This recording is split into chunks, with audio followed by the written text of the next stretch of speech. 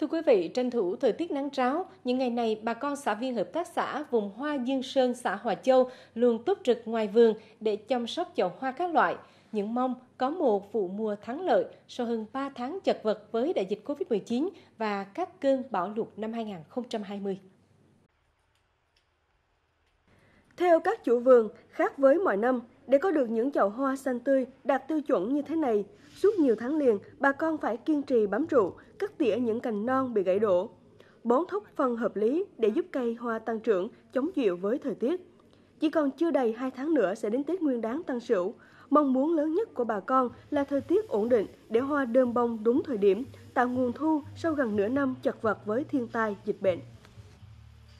Nam đây là bổ nè, rồi lục nè, đủ thứ hết cho nên vốn bỏ rất rất là nhiều. Ừ, sợ lo chẳng nữa thôi chứ còn trừ còn hiện nay bữa nay tới tết chứ là còn hơi tháng nữa thì nếu như trời mặn thuận á, thì cây vẫn đẹp Khác với bà Cơ, đầu tư trồng hơn 1.000 chậu hoa cúc đại đóa, bà Từ Thị Sung, hộ trồng hoa bên cạnh lại chọn cho mình một cách đi riêng. Bà dành phần lớn quỹ đất để trồng cúc đất.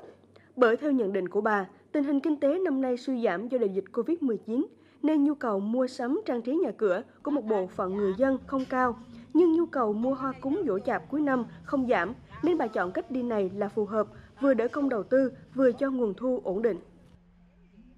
Chợ đó qua tận dụng để luồn cái bông này đây để bón vô cái dịp uh, chụp mỏ rồi ràm rồi đó. Đó đất niên đồ đó đó chứ còn mái nam là cái giọt này cũng không lùm cốc đất lùm cốc chạo hết trong trời, trong đất, trong mây là tâm trạng chung của hơn 20 hộ trồng hoa tại Hợp tác xã Hoa Dương Sơn, xã Hòa Châu để có được những chậu hoa đẹp chào đón Xuân Tân Sửu năm 2021.